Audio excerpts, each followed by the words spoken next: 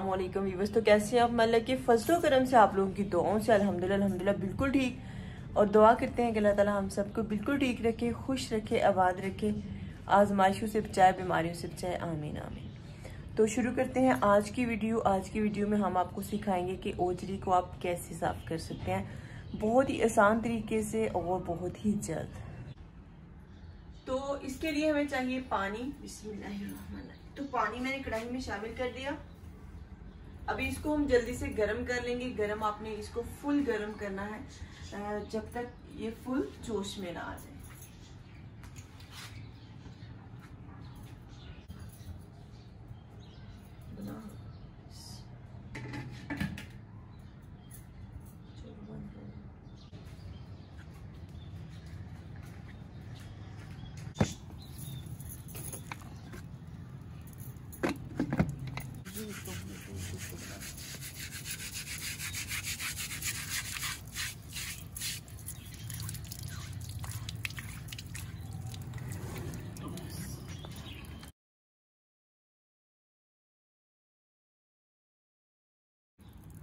तो ये रही ओजरी। अभी हम इसको साफ़ करेंगे। ये दो अदद हैं और इनको अच्छे से साफ़ करके आपको दिखाते हैं। ये रहा पानी।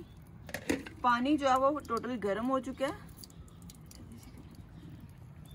और अभी हम इसमें डिप करेंगे इसको। और इसको भी इसके अंदर रख लेंगे ताकि दोनों एकदम से गर्म हो जाएँ।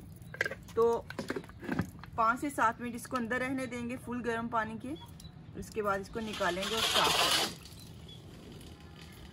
बिस्मिल्लाहिर्रहमानिर्रहीम। तो इंतज़ार ख़त्म हुआ, अभी हम इसको निकालेंगे और जल्दी से साफ़ कर लें। ये काफ़ी गर्म है, इसको हाथ लगाना मुश्किल हो रहा है, लेकिन इसकी सफ़ाई अब बहुत आसानी से हो जाएगी। ये देखें।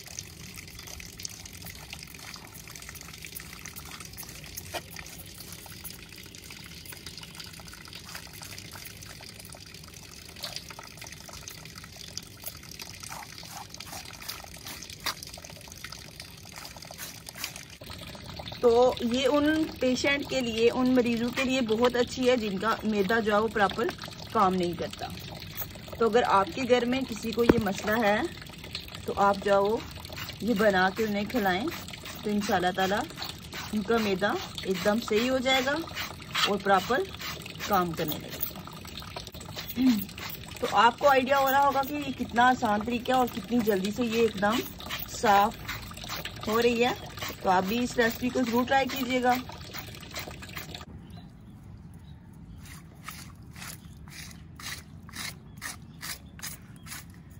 Desi Khana tips and blog को सब्सक्राइब कर लीजिएगा ताकि आपके पास अच्छी, आसान और मज़ेदार सी रेसिपी और टिप्स आती रहे। तो यहाँ एक ओजरी ऑलमोस्ट साफ़ हो चुकी है।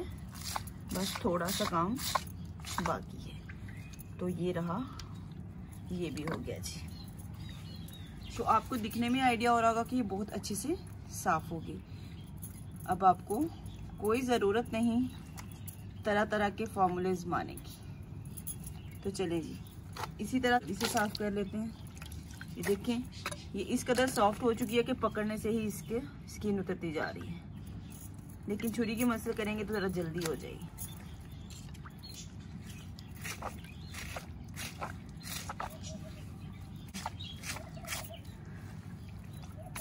तो कुछ लोग इसको चूना वगैरह लगाते हैं, जो कि मैदे के लिए बहुत ज़्यादा नुकसानदेह है, क्योंकि उससे मैदे में सुराख हो जाते हैं। तो इसलिए आप जो है वो चूने से इसको बिल्कुल ट्राई ना कीजिएगा।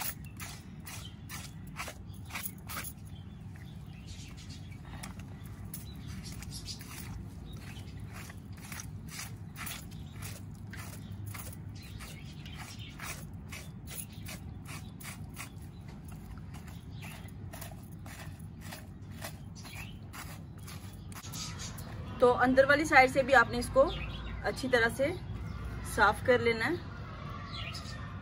और मैं काफ़ी हद तक इसको साफ़ कर चुके हैं। हम ये आप देख सकते हैं कि ये अंदर वाली साइड से सफ़ाई की और ये बाहर वाली साइड से और यहाँ चुकी बेहतरीन सी साफ़ हो चुकी है। तभी हम इसको खुले पानी में धो लेंगे।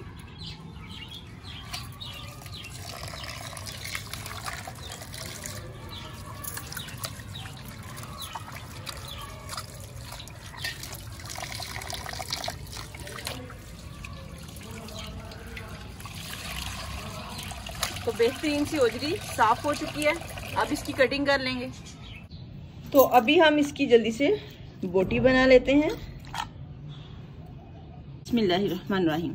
तो पीस अकेले नहीं हो सकते थे, इसलिए अम्मी जान और मैं दोनों मिलके जो है वो इसके पीस तैयार कर लेंगे। पहले तो हम इसके छोटे छोटे पीस तैयार करेंगे और उसके बाद हम इसके मजीद छोटे पीस तैयार करेंगे। तो कुछ हिस्सों में पहले हम इसको डिवाइड करने वाले हैं।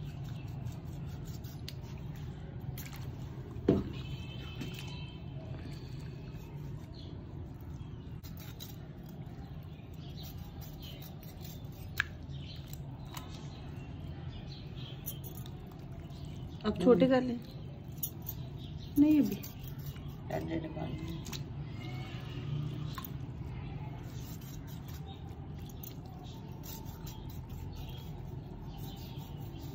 इस तरह से आपने लंबे लंबे इसके पीस तैयार कर लेने और उसके बाद हम मजीद इसकी छोटी बोटी बनाना शुरू कर रहे हैं।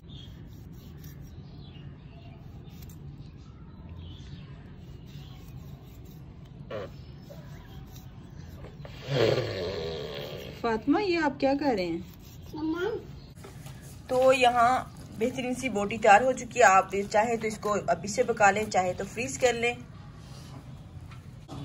तो यही थी आज की स्पेशल रेसिपी इसी के साथ मुझे जरा दीजिए अपना बहुत सा ख्याल रखिएगा? फातिमा जी ये क्या कह रहे हो आप? भाई कहते हैं ओए नहीं कहते। खुश रहें आबाद रहें हँसते रहें मुस्कुराते रहें। ढेर सारी दुआओं के साथ हम बोलते हैं आपको अल्लाह हाफिज।